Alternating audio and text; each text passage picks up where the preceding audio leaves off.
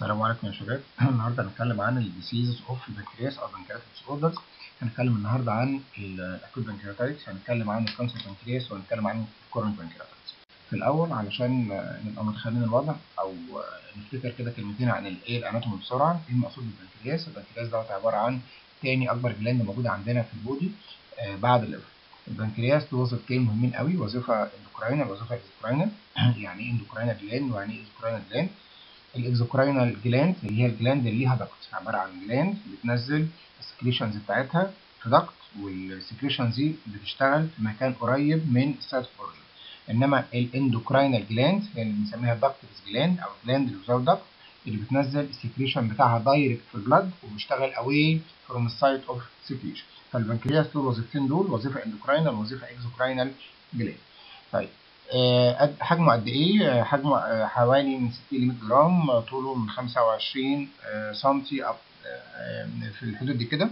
بيبقى موجود فين؟ بيبقى موجود في السقف قصاد ال second lumbar vertebrae فين؟ retroperitoneal retroperitoneal وناخد بالنا كويس قوي قوي قوي قوي من الموضوع ده. retroperitoneal بيبقى عبارة عن أجزائه عبارة عن هيد وانسانيت بروسيس وبودي وتيل. هيد وانسانيت بروسيس وبودي وتيل الشريحة دي نركز فيها كويس قوي لأن ديت هيعتمد عليها كل الشغل بتاعنا دوت عبارة عن الاستومك دوت ال duodenum الفيرست والسكند والثيرد والفورث بارت بتاعنا. البنكرياس نايم يعتبر في حضن الديودنم طيب نبص على الحتة دي كده هنشوف هنلاقي اللون الأخضر ده ده عبارة عن ال main pancreatic آه الصغيرة دي اللي هي ال islets of Langerhans اللي هي عبارة عن ال endocrinal portion of the pancreas الجزء اللي هنا ده الأصفر ده ده عبارة عن pancreatic acinus طالع منه small ductule بيتجمعوا مع بعض عشان يكونوا لي large pancreatic duct وبعد كده بتفتح فين؟ في ال second part of the duodenum ال opening اللي إحنا شايفينها هنا اللي هي نهاية ال pancreatic duct بتتحد مع ال duct اللي نازلة من فوق دي اللي اسمها ال common bile duct ويفتحوا لي الاثنين بوابة واحدة اسمها ال ampulla of Vater ال ampulla of Vater تمام؟ طيب. نبتدي بقى. إحنا قلنا البنكرياس له وظيفتين. وظيفة endocrinal وظيفة exocrinal ال endocrinal portion اللي هي ال islets Langerhans اللي إحنا بصينا عليها عبارة عن فيها مجموعة من ال cells ال beta cells اللي بتطلع الإنسولين ودي مسؤولة عن حوالي 80% من ال cells بتاعة البنكرياس أو ال islets Langerhans في عندنا ال alpha cells حوالي 20% من ال cells بتطلع glucagon. وال glucagon ده عبارة عن glucose raising hormone. في عندنا شوية cells بنسميهم delta cells اللي بتطلع somatostatin وال somatostatin ده عبارة عن pancreatic inhibitory hormone بيعمل inhibition لل GIT secretions وفي عندنا شوية cells كده صغيرة اللي هي ال F cells اللي بتطلع هرمون عندنا بنسميه pancreatic polypeptide طيب ال exocrinal portion بتاعت البنكرياس.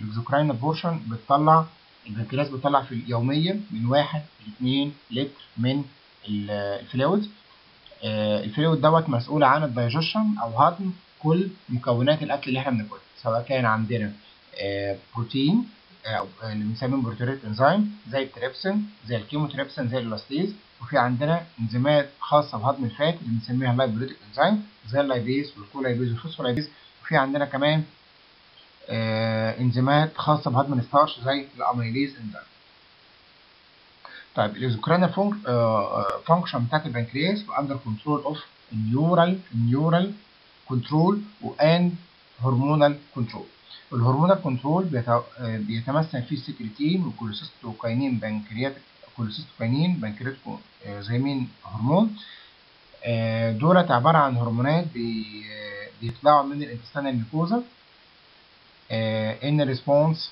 to ال acid and ال amino acid اللي موجودين في اي تي من الأكل. تمام؟ طيب. هنتكلم عن أول حاجة عندنا تهمنا اللي هو الإيه؟ ال acute pancreatitis إيه المقصود بال acute pancreatitis دوت عباره عن acute inflammation of البنكرياس caused by نركز قوي caused by activation interstitial liberation and auto digestion auto digestion of the gland by its own enzyme. يعني عبارة عن إيه؟ عبارة عن inflammation في البنكرياس نتيجة انزيمات الهضم اللي بتطلع بطريقة كبيرة جدا وبتعمل auto digestion لل gland by its own enzyme يعني البنكرياس بياكل نفسه أو ال pancreatic enzymes بتهدم ال pancreatic طيب إحنا ليه عندنا؟ الموضوع ده مش بيحصل كتير ليه؟ لأن إحنا عندنا في آه، mechanismات كده ربنا خالقها علشان ال pancreatic enzymes دي ما تعملش مشكلة في البنكرياس إن هم إيه؟ أول حاجة إن ال pancreatic enzymes موجودة فين؟ في صورة inactive form أو pro form اللي بنسميها ال pro enzymes. الحاجة الثانية إن الانزيمات موجودة في قلب كريات كده بنسميها ال zymogens أو ال lysosomes. الحاجة الثالثه إن ال ال ال الانزيمات دي موجودة في medium موجودة في medium ما بيساعدش على نشاط الإنزيمات. موجودة فين في medium acidic وال calcium content اللي موجود فيه قليل. ال- ال medium بتاع البنكرياس medium acidic و low calcium content ما بيخليش الإنزيمات تتنشط. الإنزيمات عشان تتنشط محتاجة حاجتين. محتاجة alkaline medium ومحتاجة high calcium content زي ما هنتكلم بعد كده. يبقى تاني ال acute pancreatitis ده عباره عن acute inflammation of the pancreas due to autodigestion of the pancreas by its own enzyme. تمام؟ طيب إيه بقى اللي يعمل كده؟ أول حاجة اللي يعمل ال pancreatitis ال gall stones. ال gall stones مسؤول عن 90% من ال acute pancreatitis بيحصل إيه بقى بالنسبة لل gall stones؟ ال gall stones بتيجي تقفل لنا ال ampulla of Vater وبعدين بيحصل إيه؟ لما بتقفل ال- ال ampulla of Vater ال pancreatic juice بيجي يطلع من ال exocrinal portion of the pancreas يلاقي السكة قدامه مقفولة فيقوم يعمل إيه؟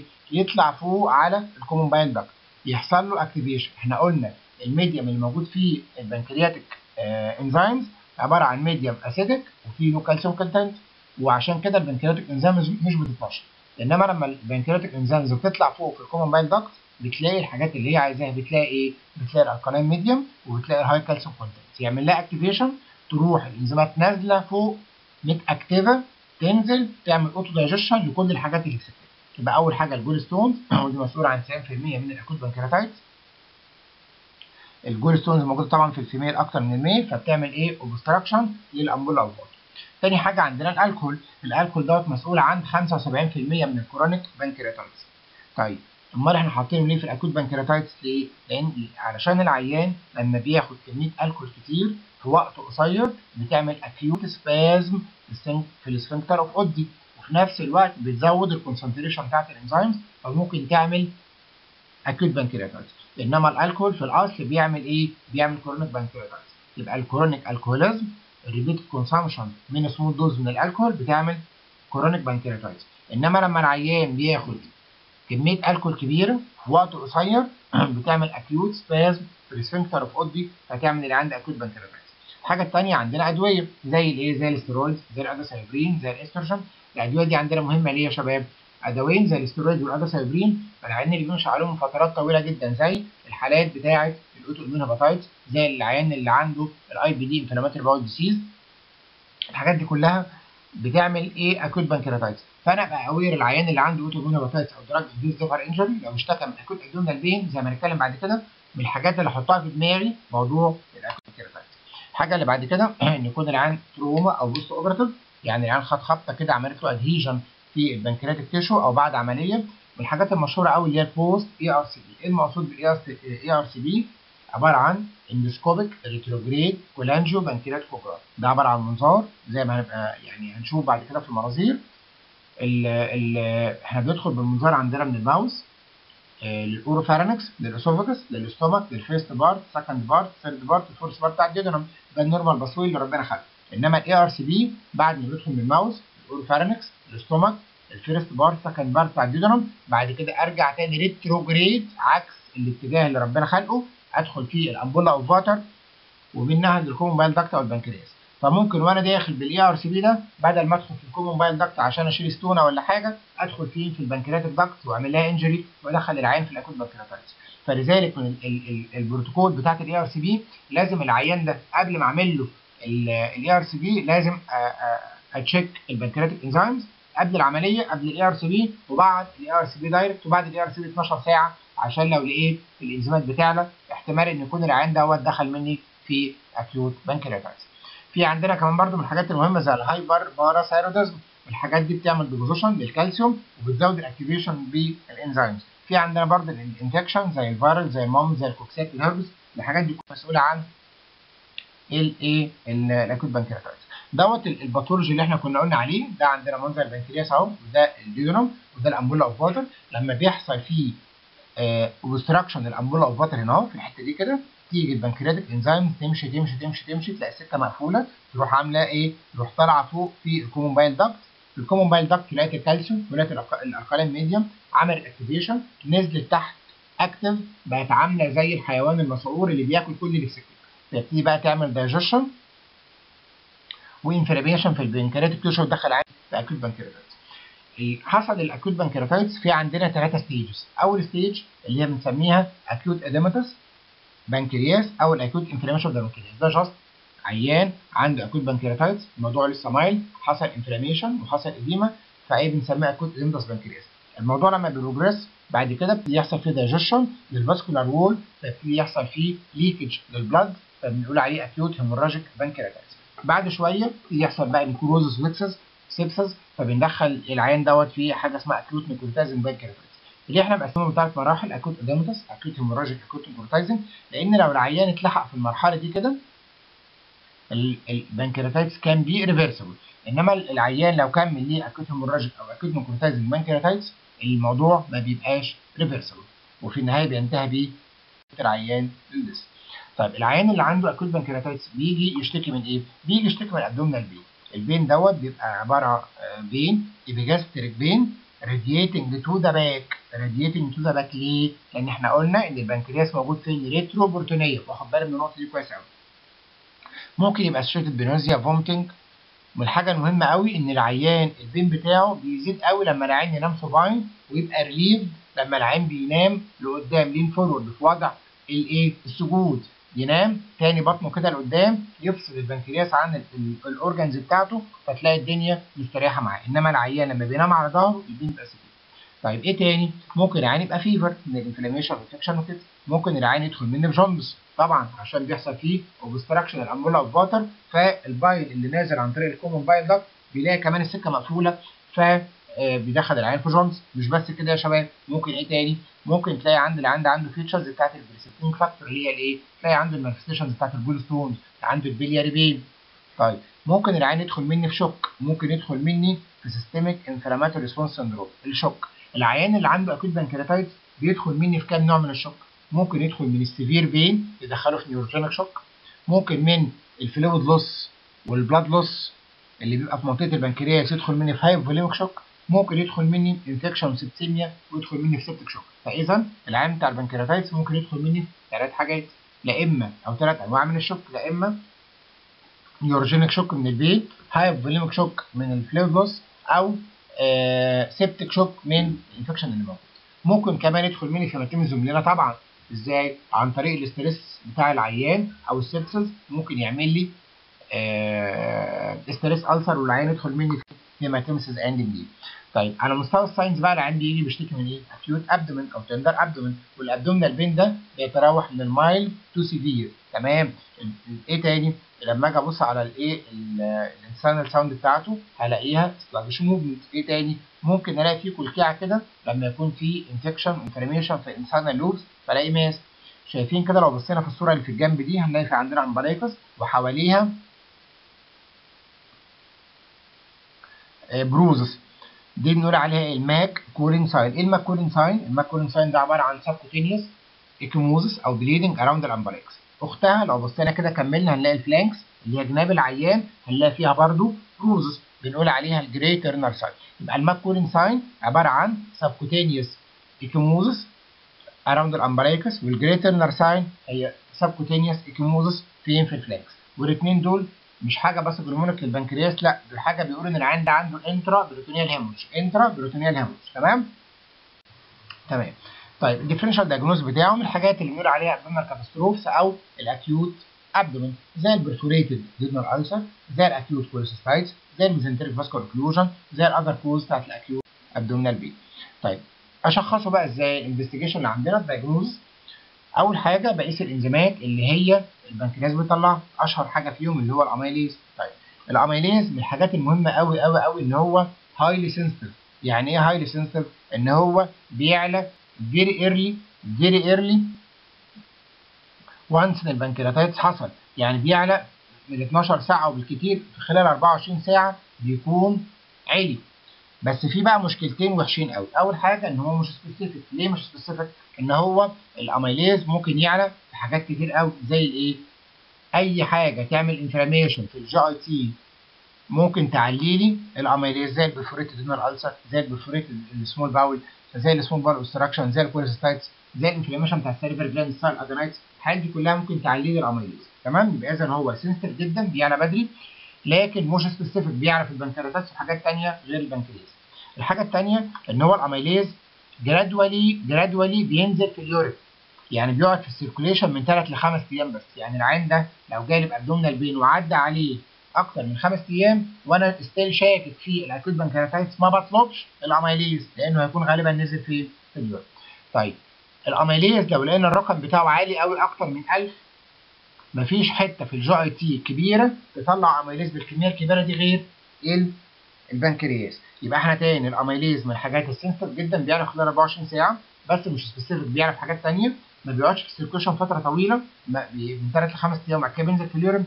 وال high value بتاعه لو عدى 1000 ده ممكن يقول إن دوت غالبا of pancreatic origin طيب ال urinary amylase دوت بينزل في ال amylase بعد ما في ال circulation بيقعد خمس أيام بينزل في ال urine فممكن يقعد فترة طويلة شوية في ال urine أكتر من الخمس أيام.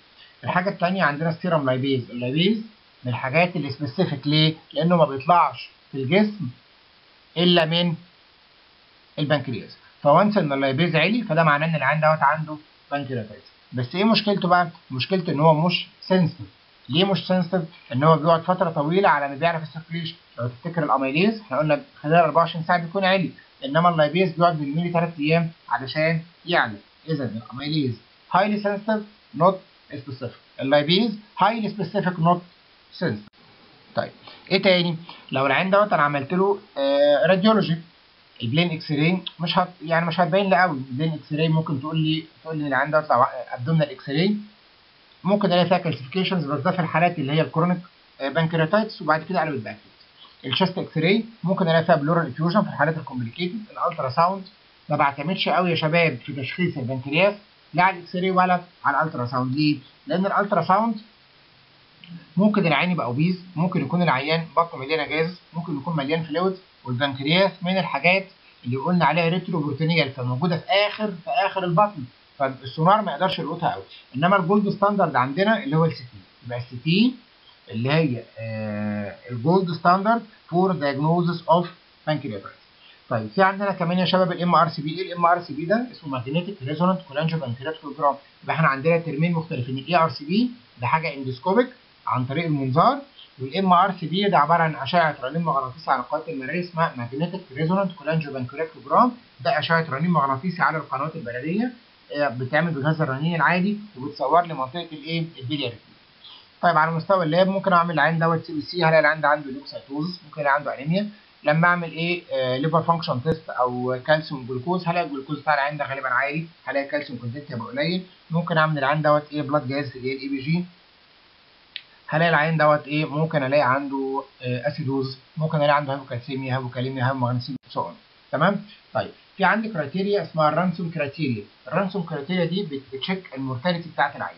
بتقول إيه بقى ال Ranson criteria إن أنا العيان دوت بقيمه وهو داخل عندي أول ما يدخل المستشفى on admission فعندي حوالي خمسه items لو العيان ده كان سنه أكتر من 55 سنة بديله درجة. لو كان ال red blood cells بتاعته أكتر من 16000 بديها درجة. لو الجلوكوز أكتر من 200 مللي جرام بديله درجة. لو ال LDH أكتر من 350 بديله درجة.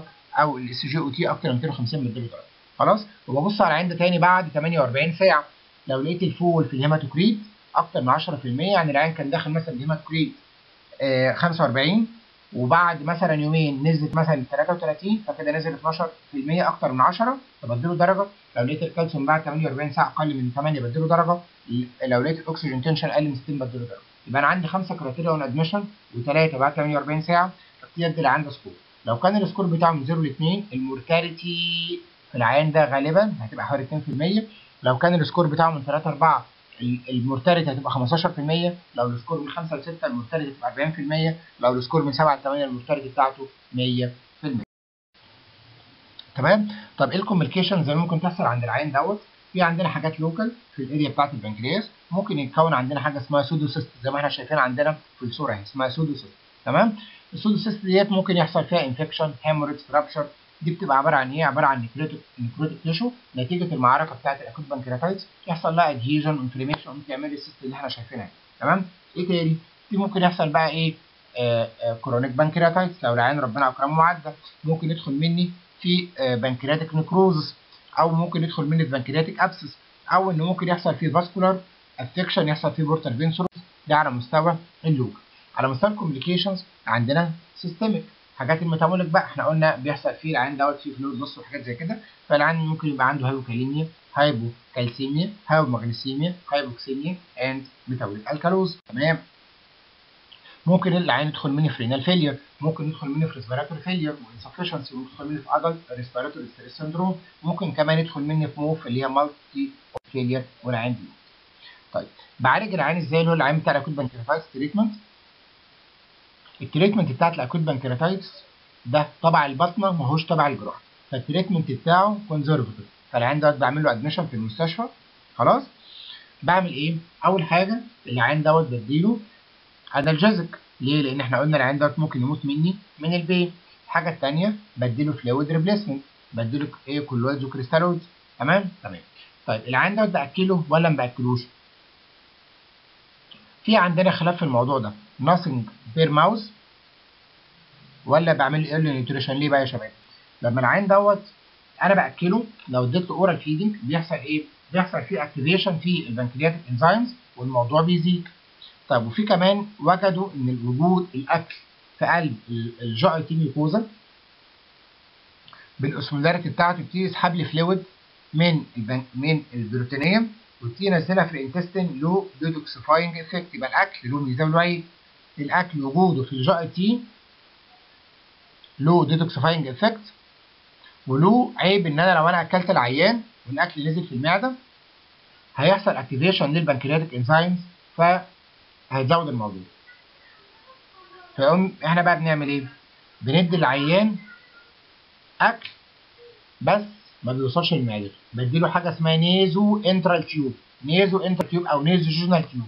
دي حاجة زي ال nasogastric tube كده اللي هي ال Ryle بس أطول شوية. بتعدي ال second part بتاع ال duodenum وتوصل على طول على ال jejunum فبديله الاكل عن طريق ال jejunum وفي الوقت ده يبقى أنا آه ما خليتش البنكرياس يشتغل وفي نفس الوقت ما حرمتش العيان من ميزة وجود الأكل في قلب ال GIT عمل له detoxifying effect بتاعه إنما لو أنا ما عنديش في المستشفى بتاعتي ال naso-jejunal أو ال naso-enteral tube في الوقت دوت بمشي العيان عن ال nothing per oral وبخلي العيان ما ياكلش خالص.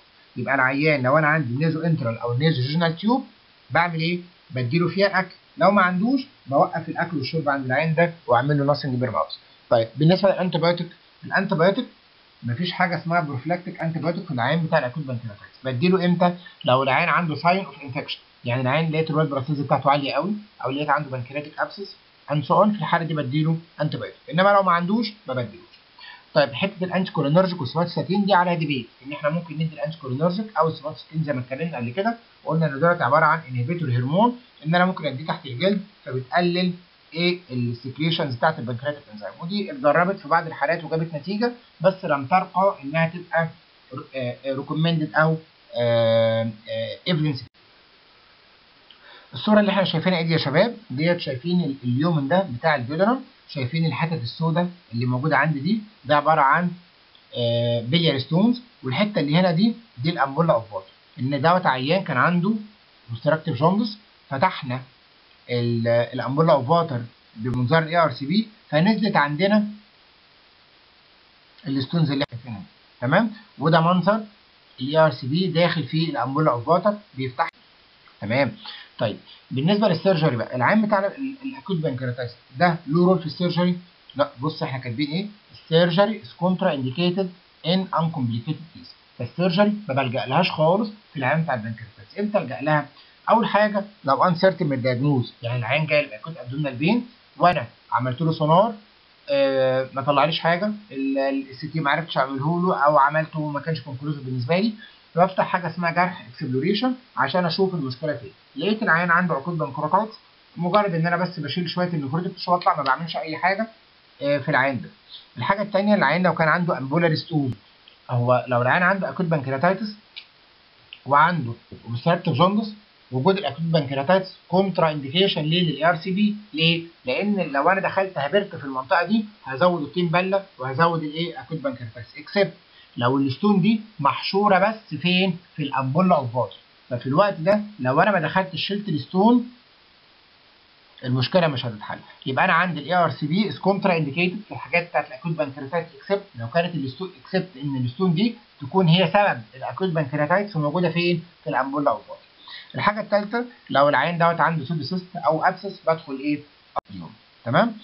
ده يا شباب بالنسبة لحتة الايه؟ ال acute pancreatitis هنتكلم بقى بسرعة عن ال chronic pancreatitis ال chronic pancreatitis ده عبارة عن عيان جاله attack من ال acute pancreatitis وعدى فإيه سببها؟ ده recurrent prolonged attacks من ال acute pancreatitis تمام؟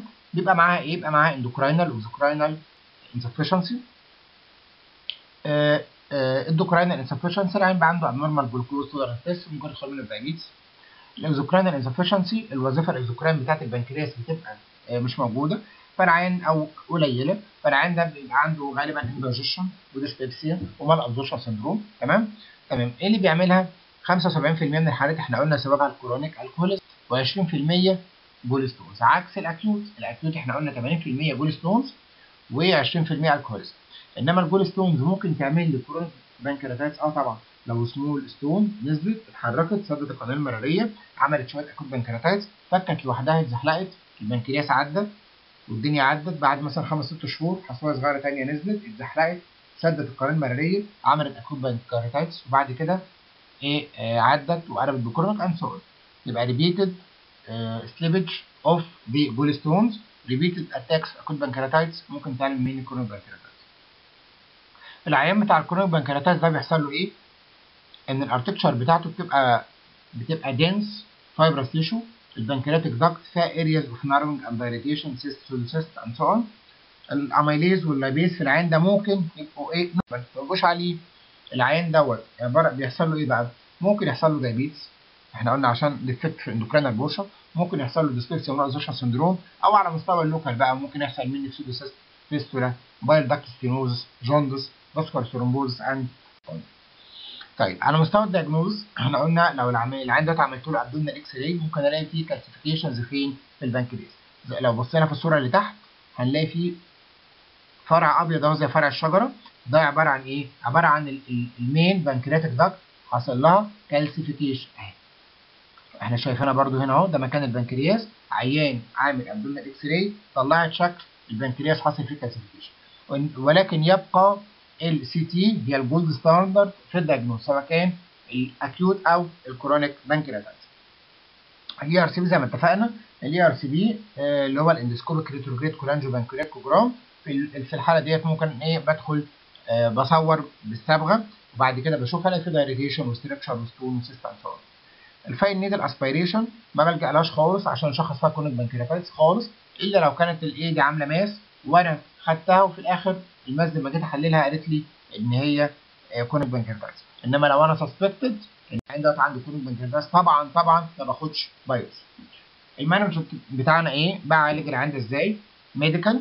بعمل العيان دوت control لل diabetes وفي الحالة دي يفضل ان ادي العيان دوت انسولين ما بديلوش oral لأن أنا مش عايز أشغل أو اتعب البنكرياس أكتر ما هو تعبان فما بديلوش oral خالص غالبا بدي انسولين العين دوت بعمل له بين كنترول بعمل له اكزوكراينال ريبليسمنت بديله بعمل له addition لل pancreatic enzymes بعمل له control لل diet والجراحات بقى العيان دوت لو كان عنده إيه عنده مثلا abscess عنده cyst عنده obstruction في الحالة دي ممكن العيان دوت إيه drainage يبقى إحنا كده خلصنا يا شباب ال pancreatitis سواء كانت chronic فاضل لنا بس حاجة بسيطة خالص في ال diseases بتاعت البنكرياس اللي هي ال pancreatic cancer أو ال cancer pancreas ال cancer pancreas هي ال fifth highest cancer related death يعني خامس سبب للوفيات من ال cancer هو ال cancer pancreas ال cancer pancreas من الحاجات اللي هي ال very very very aggressive جدا.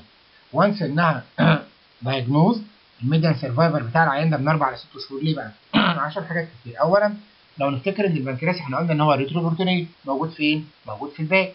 فده قدامه الأورطة inferior vena cava قدامه ال common bile duct قدامه كل ال intestine قدامه البريتون قدامه الدايافرام ف once إن حصل cancer بيبتدي يعمل لي metastasis في الحتت دي فالعيان بيتبهدل بسرعة جدا. الحاجة الثانية إن ال pancreatic tissue بتاع العيان ده fragile فتلاقي ال local invasion في البنكرياس بينتشر بسرعة جدا. ف once إن العيان اتشخص ابتدي يعد له في خلال ست شهور هيكون العيان. تمام؟ تمام.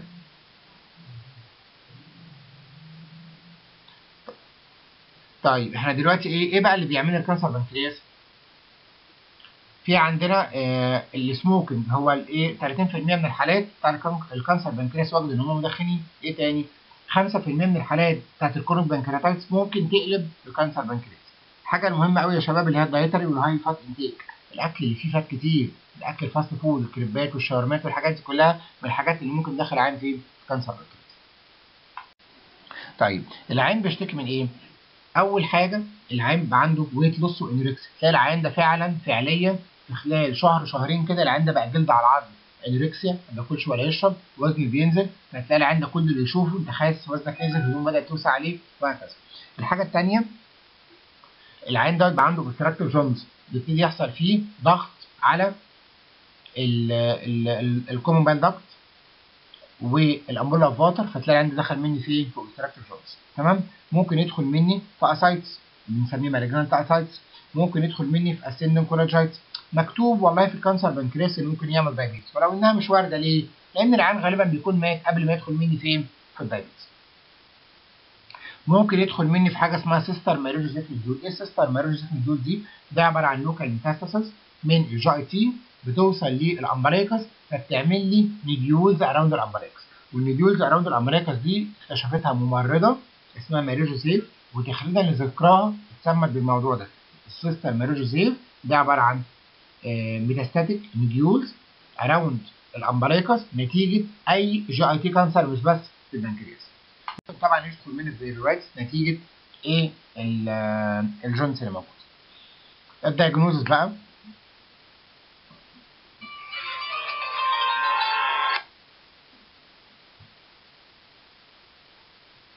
ال diagnosis بيحصل إيه؟ بشخص ال cancer pancreas دوت عن طريق ال CT أو عن طريق ال ال الاي ار سي بي أو الام ار سي بي أو إن أنا ادخل منه biopsy أو إن أنا آه العيان دوت إيه؟ أعمل له tumor marker تمام؟ زي ما إحنا شايفين كده في الصورة آدي البنكرياس أهو قدام ال vertebral column في tumor markers عندنا زي ال carcinoembryonic antigen أو ال cancer antigen 19 العلاج بتاعه إيه؟ العلاج بتاعه غالبا palliative خلاص palliative يعني إيه؟ بعمل العيان دوت pain control ال pain control دوت بديله analgesic أو ممكن العين دوت أعمل له sympathectomy عشان أقطع ال nerveات بتاعت ال pain لو العيان دخل مني ب jaundice ممكن أعمل العين دوت ERCP واركب له stent أو إن أنا ممكن أعمل له bypass أو إن أنا بعمل أشيل الجزء بتاع الدولاب. طيب ال curative في العين دوت لو اتلقط بنعمل له عملية اسمها Whipple إحنا عندنا ال Whipple في المنهج بتاعنا عندنا ثلاث حاجات. في عندنا ال Whipple operation بتاعت ال cancer بنكرياس عندنا ال Whipple disease بتاعت Tropheryma whipplei بتاع ال malabsorption syndrome وفي عندنا ال Whipple's triad بتاعت ال hypoglycemia تمام؟ طيب ال Whipple operation ده عملية بشيل فيها إيه؟ بشيل فيها ال head of pancreas بشيل فيها ال gallbladder بشيل فيها ال bile duct بشيل فيها ال duodenum بشيل فيها جزء من ال stomach واللي فاضل بعمل له بوصله فين؟ في ال intest خلاص؟ فديت الايه؟